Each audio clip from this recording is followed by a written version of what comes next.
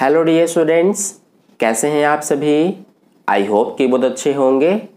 तो इस वीडियो में हम प्रश्नावली 6.5 से क्वेश्चन नंबर 12 को सॉल्व करेंगे।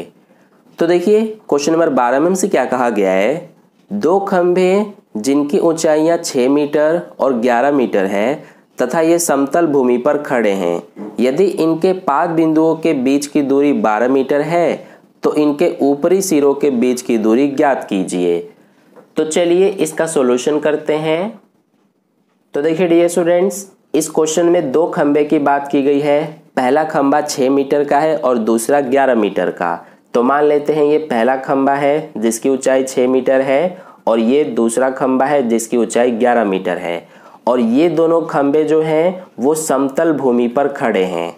और आगे हमसे कहा गया है कि इनके पाद बिंदुओं के बीच की दूरी 12 मीटर है। यानी कि जो इनका आधार बिंदु है, देखिए, पहले खंबे का आधार बिंदु ये हो जाएगा और दूसरे खंबे का आधार बिंदु ये हो जाएगा। तो इनके बीच की दूरी हमें 12 मीटर दिया गया है। तो हमसे पूछा है कि इनके ऊपरी सिरों के बीच की दूरी क्या होगी? तो देखिए, ये पहला खंबा का ऊपरी सिरा ये हो जाएगा और दूसरे खंबे का ऊपरी सिरा ये हो जाएगा। तो इनके ऊपरी सिरों के बीच की दूरी हमसे पूछी गई है। यानी कि ये हमसे पूछा गया है। ठीक है? तो देखिए हम ये कैसे बताएँगे? इसके लिए क्या करेंगे हम कि यहाँ से हम क्या करेंगे कि इस तरह से बिल्कुल सीधी एक लाइन खींच देंगे। ठीक है? या फिर आप इसको लम भी कह सकते हैं। यानी कि हमने ये जो है, इस पे लम खींचा है, इसीलिए यहाँ पर 90 डिग्री का कोण बनेगा। तो आई होप आपको इतना समझ में आ गया। एक बार इसका हम नाम रख देते हैं। ये ए ये हो जाएगा बी ये सी डी और इस बिंदु का नाम दे देते हैं ई e. अब देखिए, ये हमारा ए से लेकर बी तक, यानी कि जो ए बी है, वो छ मीटर है।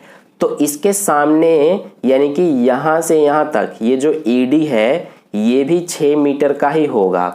तो एक बार हम यहाँ पर इस तरह से बता देते हैं कि जो ये ई e डी है, ये भी छ मीटर का होगा। इसी तरह से जो ये बी डी है, ये 12 मीटर है तो इसीलिए इसके सामने ये जो ए ई e है, ये भी 12 मीटर का ही होगा।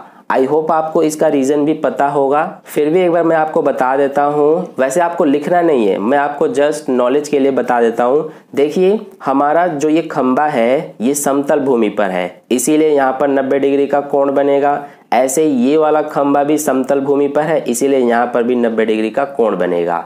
और ये जो है हमने लम्ब खींचा है सीडी पर तो यहाँ पर 90 है तो इस साइड यहाँ पे भी 90 होगा। तो ये 90 ये और ये भी 90 तीनों 90 के हो गए। तो ये चौथा जो है, ये भी 90 का ही होगा, ठीक है? क्योंकि चारों कोणों का योग 360 होता है तो ये तीनों 90 90 हो गए तो ये सिर्फ़ 90 का बचा। यानी कि हम ये कह सकते हैं कि जो हमारा ये एक चतुर्भुज बन रहा है, ए, बी, डी, ई, ये हमारा एक आयत या फिर इसको एक वर्ग कह सकते हैं। तो इसीलिए आयत के आमने सामने की भुजाएँ बराबर होती हैं, इसीलिए बी डी जो है इसके सामने ये वाली भुजा है तो इसीलिए ये बारह है तो ये भी बारह होगा। ऐसे ही ए बी जो है इसके सामने ये ई डी है तो ये छः है तो ये भी छः होगा। आई होप आपको समझ में आ गया। अब हमें क्या करना है कि ए सी ये इसका मान हमें पता करना है। तो देखिए, ये पूरा सी डी जो है, वो 11 मीटर का है।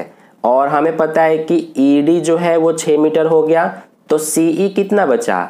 11 में से हम इस 6 मीटर को घटा देंगे, यानी कि ये 5 मीटर का है ई अब देखिए हमारा यहाँ पर त्रिभुज ए सी ई इस वाले त्रिभुज को लेंगे हम, और ये हमारा एक समकोण त्रिभुज होगा, क्योंकि यहाँ पर 90 डिग्री का कोण है तो इसमें हमें ये वाली भुजा पता है, ये वाली भुजा पता है, हमें ये निकालना है, यानी कि ये क्या है? कर्ण है। तो इसका मान हमें पता करना है।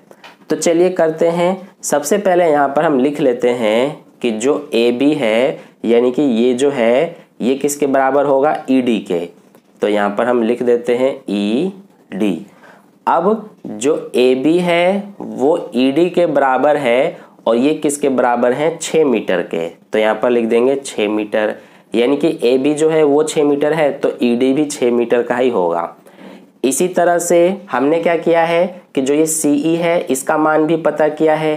तो देखिए सी ई ये हमारा कैसे आया है? इसके लिए हमने क्या किया है कि पूरे सी डी में से हमने माइनस कर दिया है इस ई डी को।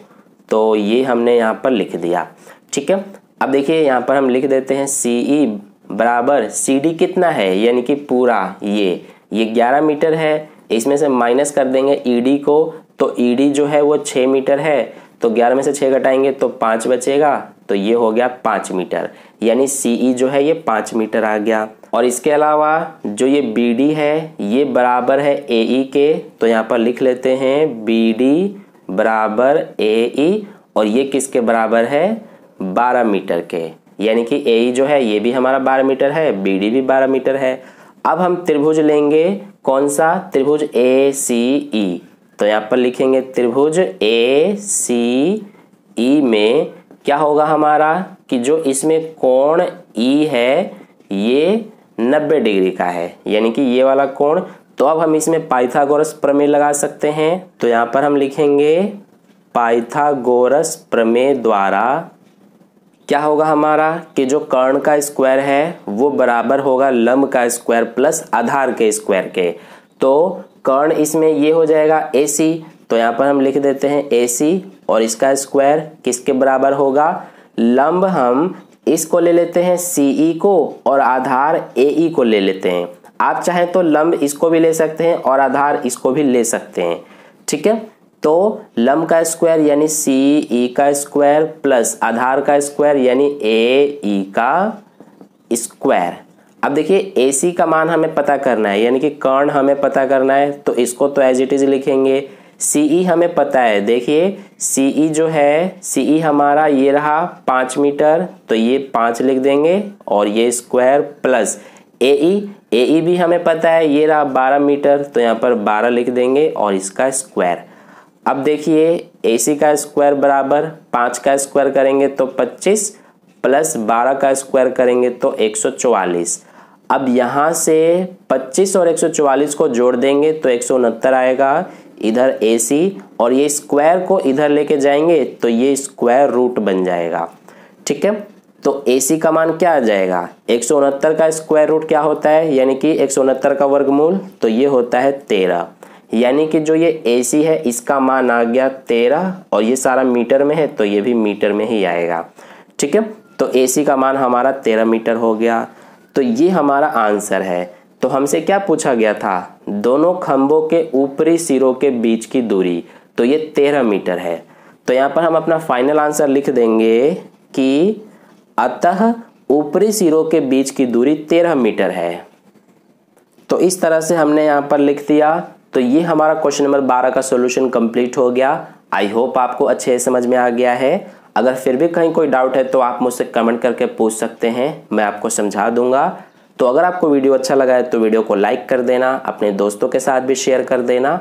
और अगर आप चैनल पर नए आए हुए हैं तो चैनल को सब्सक्राइब करके बगल में जो बेल आइकन आता है, उस पर ऑल नोटिफिकेशन पे क्लिक कर लेना, ताकि नेक्स्ट वीडियो जैसी अपलोड की जाए, उसका नोटिफिकेशन सबसे पहले आपको मिल जाए। तो मिलते हैं फिर नेक्स्ट क्वेश्चन के लिए नेक्स्ट वीडियो में। धन्यवाद।